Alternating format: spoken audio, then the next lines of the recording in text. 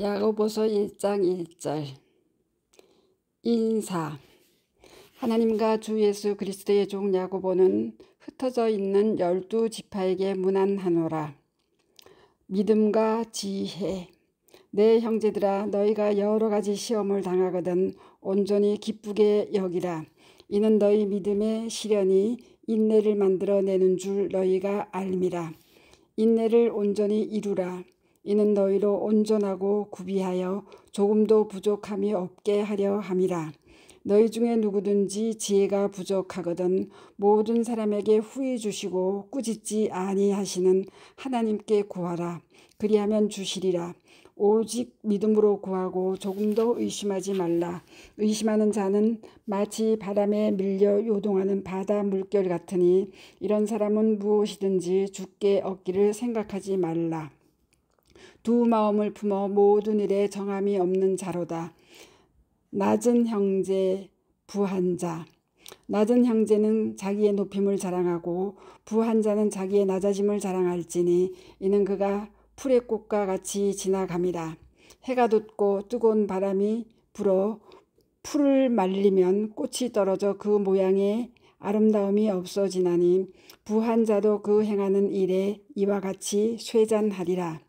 시험에 견뎌낸 자 시험을 참는 자는 복이 있나니 이는 시련을 견디어 낸 자가 주께서 자기를 사랑하는 자들에게 약속하신 생명의 면류관을 얻을 것이기 때문이라. 사람이 시험을 받을 때에 내가 하나님께 시험을 받는다 하지 말지니 하나님은 악에게 시험을 받지도 아니하시고 친히 아무도 시험하지 아니하시느니라. 오직 각 사람이 시험을 받는 것은 자기 욕심에 끌려 미혹됨이니 욕심이 잉태한 즉 죄를 낳고 죄가 장성한 즉 사망을 낳느니라. 내 사랑하는 형제들아 속지 말라. 온갖 좋은 은사와 온전한 선물이 다 위로부터 빛들의 아버지께로부터 내려오나니 그는 변함도 없으시고 회전하는 그림자도 없으시니라. 그가 그 피조물 중에 우리로 한 첫 열매가 되게 하시려고 자기의 뜻을 따라 진리의 말씀으로 우리를 낳으셨느니라. 말씀을 들은가 행함.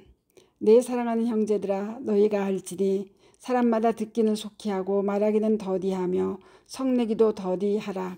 사람이 성내는 것이 하나님의 의를 이루지 못함이라.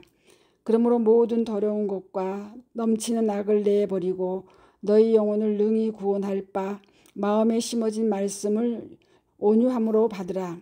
너희는 말씀을 행하는 자가 되고 듣기만 하여 자신을 속이는 자가 되지 말라.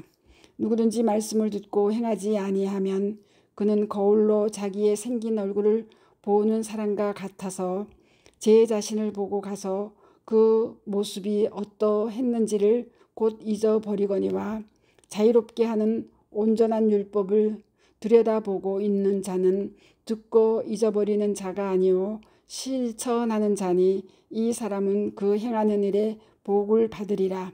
누구든지 스스로 경건하다 생각하며 자기 혀를 제갈 물리지 아니하고 자기 마음을 속이면 이 사람의 경건은 헛것이라. 하나님 아버지 앞에서 전결하고 더러움이 없는 경건은 곧 고아와 가부를 그 환란 중에 돌보고 또 자기를 지켜 새 속에 물들지 아니하는 그것이니라.